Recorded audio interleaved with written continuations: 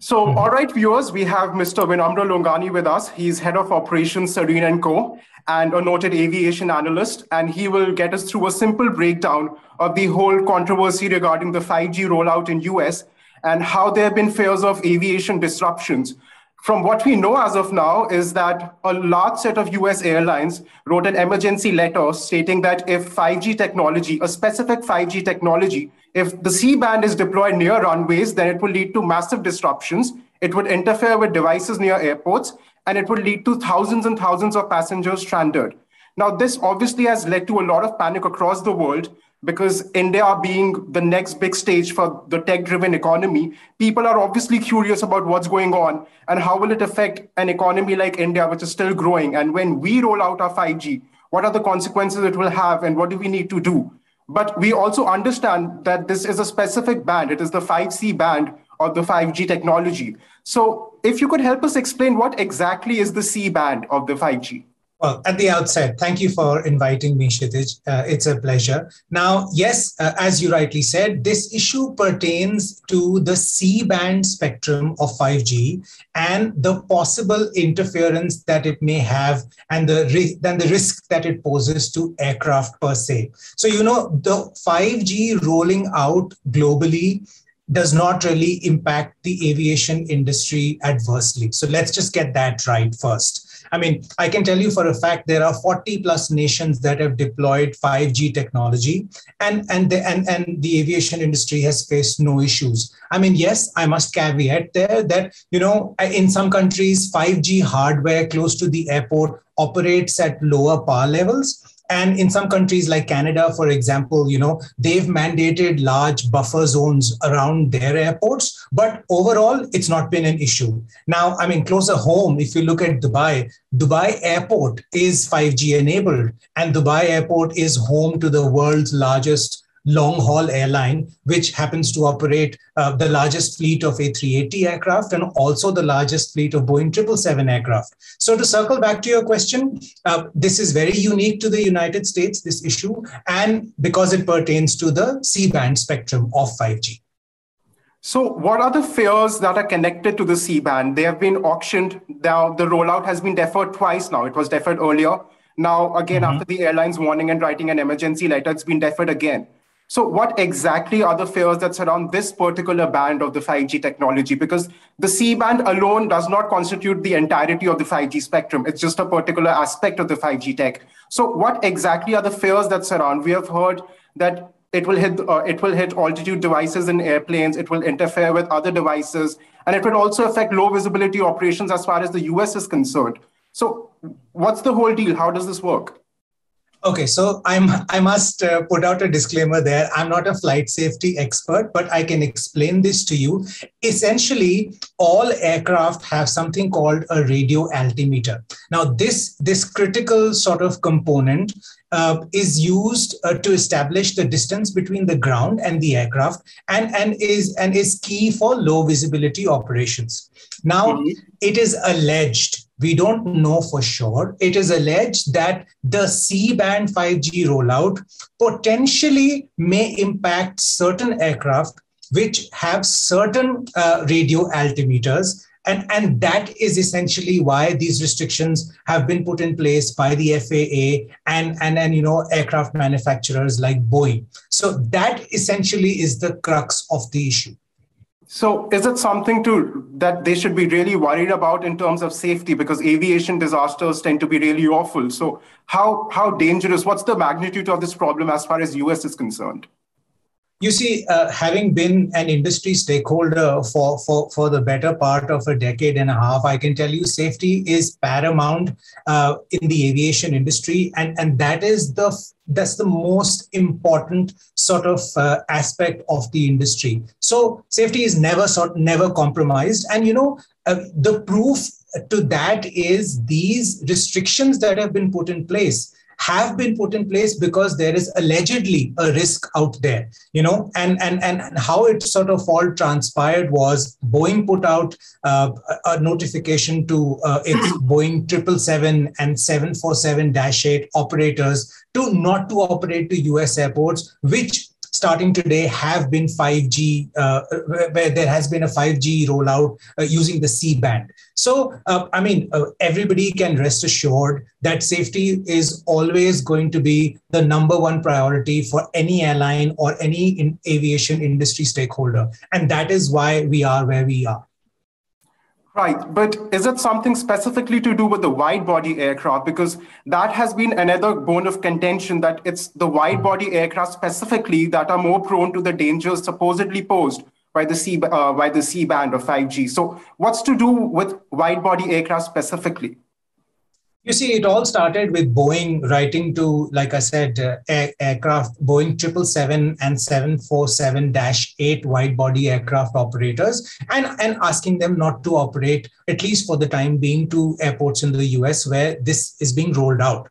Now, that resulted in, uh, well, a vast majority of cancellations and also mass hysteria to an extent, which I am glad you are trying to address through this because uh, it's not as if wide body aircraft aren't safe. I mean, I'll give you an example. The FAA on the side has been clearing aircraft to operate at these aircraft, at, the, at these airports. And I can tell you the Boeing 747-400, uh, that's been cleared. The Boeing 767 has been cleared. Uh, among other Airbus wide body aircraft, the A330, the A350, these have been cleared. And the A380 also seems to be operating to the US. So, you know, uh, there are really no concerns as such around wide body aircraft. All of this is being done to ensure that even if there is an iota of doubt that this C band spectrum may impact uh, aircraft operations in order to eliminate that. So uh, it's extremely safe to fly. I mean, flying is the safest mode of transport, and, and I do not see that changing anytime soon. That's heartening to know because one thing that stands out is that you will see you of course there'll be many many more road accidents than air disasters but the fact is that when you compare the fatality toll and the death count you just realize that air travel is way safer than all other modes of transport. So that's the most reassuring part that the safety is still at the forefront despite all the concerns and fears surrounding this whole 5g this whole madness that's going on in us because airlines clearly want of chaos and chaotic disruptions. Now those were really strong words that really worried people because if major airlines can say chaotic disruption those are really strong words.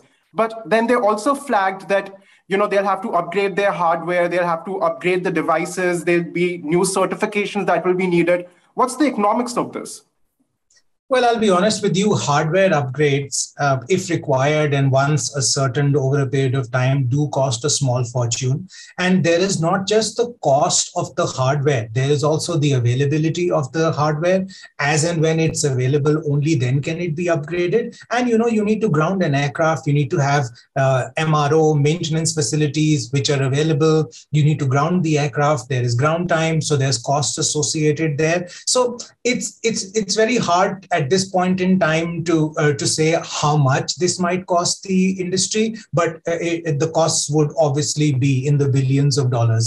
And also something else that one must really keep in mind is you know the cost of these disruptions. Uh, the all these flights that aren't operating to the U.S. The airlines uh, the airlines are obviously out of pocket. These were flights right. that were sold to passengers, and they would they, they would end up either you know uh, either sort of reaccommodating these passengers or giving them their money back or putting it in a shell for later. But at the end of the day, uh, and when you have an asset like an aircraft, you would want to use it as much as possible so sure. that you know you can you can gain as much revenue out of it so so that also is is another aspect which is very troubling for the industry given that you know we've we've not even stepped out of the whole pandemic situation. Things were only just starting to get better and now we've got omicron. Now we've got this little fiasco in the us so uh, it's it's it's it's actually quite heartbreaking from an industry perspective and yes, of course, and what people tend to forget is that is that it's just not passenger flights that are in question. There's FedEx who signed to the letter.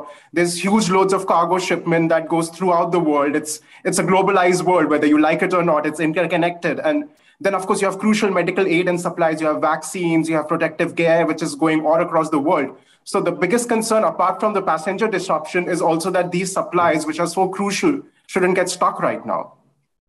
Absolutely. I mean, you know, uh, we always look at uh, our airlines as, uh, you know, as organizations that that ferry people. You know, there there is another deck below where there's cargo that's carried on an airliner, uh, on, uh, in addition to passengers. So yes, global supply chains may get disrupted because of this. And and at the end of the day, what that means is, you know, people will have to wait longer for critical sort of uh, medicines or pharma or or, or, or even day-to-day goods which are shipped from one part of the other uh, uh, to the other and by ship i mean flown by air. So as of now it does seem as a yet another stopgap measure that they have deferred it again. But eventually as a aviation analyst what's the way that you see out? Like eventually they will have to extend it sooner or later. So will the airlines cede ground and switch to upgrades or will there be a statutory change in us what's the way out of this crisis? Because this impasse cannot stand forever. It has to change because the rollout has been deferred twice now, and the auctions have been given around one year back.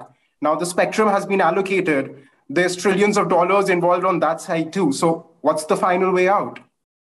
You see, I think it's going to be a bit of everything. Uh, you know, uh, the, the the spectrum, sort of the telecom companies may have to sort of like you know, like some other countries, power down some of their hardware around the airports. They may they may look at the U.S. government uh, in order to sort of ensure that things go back to normal uh, they may they may look at setting up a buffer uh, depending on uh, you know the severity of this issue at hand. Simultaneously like i said you know the faa has been approving aircraft types uh, and i mean one would hope that you know that process is expedited and you know more aircraft are approved so so i mean it uh, uh, unless i mean i don't really have a crystal ball to tell you uh, what ultimately is going to happen. But yes I, in my opinion all parties will have to work together to make sure that this this disruption uh, is minimized going forward. But the main bottom line, the main crux as of now is that the problem is essentially US specific. And because India is a data crazy nation and India is a nation of youngsters, so what we tend to look out is how, how it will impact us and what we should do. So the main takeaway of this from what I learned from you is that this is clearly US specific. 40 countries have rolled out 5G. It's not been a problem. It's just this particular C band and the problem remains US specific. So there's nothing that India should be worried about going ahead, deploying more tech, making new airports and making more regional airlines not at all. We're, we're, we're, on the we're on the path to greatness in this country and i am a firm believer that you know uh, that we will grow into being uh, one of the uh, well we are we are one of the largest civil aviation markets already but uh, given that only about 4% of people fly in india we are well on our way to be the world's largest aviation market uh, hopefully in my lifetime and it's really reassuring that safety still stays. No matter what happens there can be concerns regarding tech there can be concerns regarding policy making. But what really stands out is that nobody's letting their guard down as far as safety is concerned. So all the flyers can be really at ease and not worry about anything that's going to happen to the safety dynamics of flying absolutely. There is absolutely no reason to worry about at all. You know there are uh, you know getting an aircraft off the ground is like a well well choreographed uh, so, uh, ballet and and and safety is paramount at every step of that. So you know you can rest assured that uh, uh, safety would never ever be compromised. So this should basically make our young indian viewers the digital viewers really happy that they are safe, the safety is intact, and the problem is not India specific. Absolutely. Well, uh, like amidst all the brouhaha, we really needed someone to clear the air, and we are glad that at least we got you, an analyst, to just clear and dispel all the rumors. Thank you for joining us. It's my pleasure, Kshitij. Thank you.